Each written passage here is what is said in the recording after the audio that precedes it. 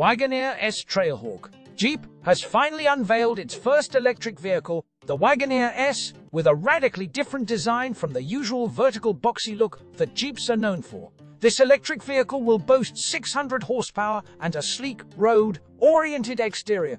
But fret not, Jeep enthusiasts, the company hasn't forgotten about you off-road aficionados, because the company has also introduced a new concept called the Wagoneer S Trailhawk. The Jeep Wagoneer S Trailhawk concept shares the foundation of the regular Wagoneer S Trailhawk concept, shares the foundation of the regular Wagoneer.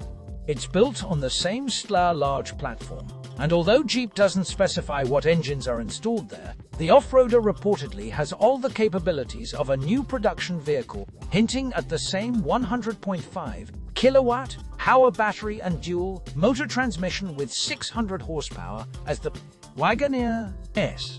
Suspension.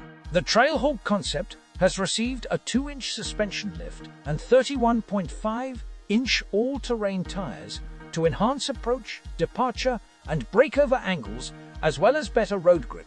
Bright tow hooks adorn the front and rear bumpers, and functional air intakes relieve high-pressure areas in the wheel wells during high-speed travel. The updated front panel also received scratch-resistant coating.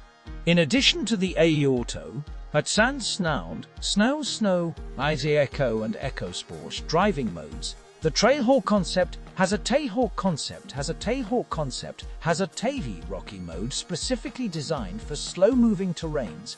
Interior steering wheel.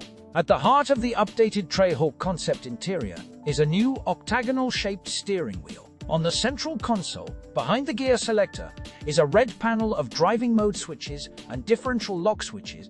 While Jeep claims that the Wagoneer S Trailhawk is a concept, it looks remarkably production ready.